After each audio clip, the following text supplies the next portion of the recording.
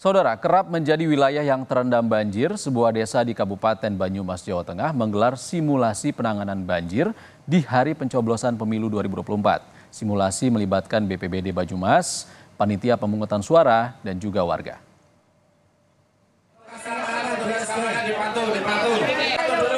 Suasana tempat pemungutan suara TPS 06 di Desa Gebangsari, Kecamatan Tambak, Banyumas, Jawa Tengah mendadak riuh.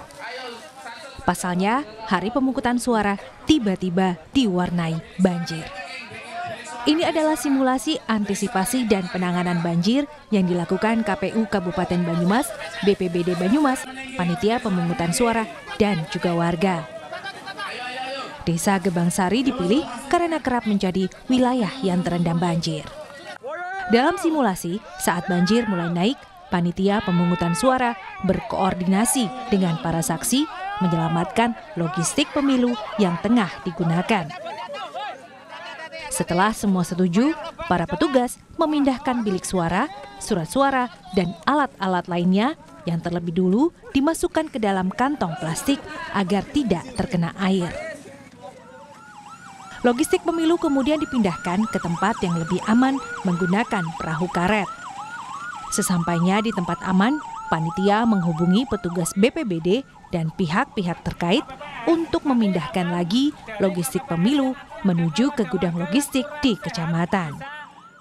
Mengingat bulan Februari minggu kedua diprediksi adalah puncak musim hujan, maka perlu kiranya kami mengantisipasi jika di hari H pemungutan suara tanggal 14 Februari ini TPS-TPS eh, tersebut eh, tiba-tiba ada bencana alam. Lalu langkah-langkah seperti apa yang KPU Kabupaten Banyumas bisa laksanakan ketika pemungutan suara, maka hari ini kita simulasikan.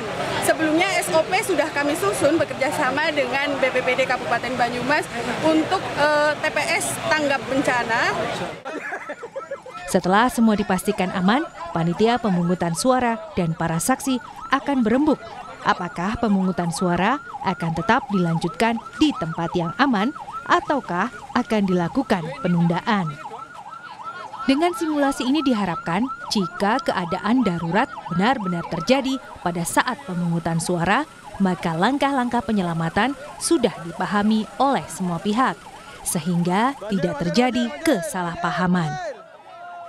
Menurut data KPU, di Kabupaten Banyumas terdapat 5.587 TPS.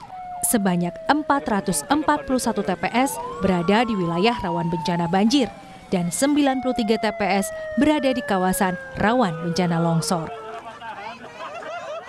Bayu Sasongko, Kompas TV, Banyumas, Jawa Tengah.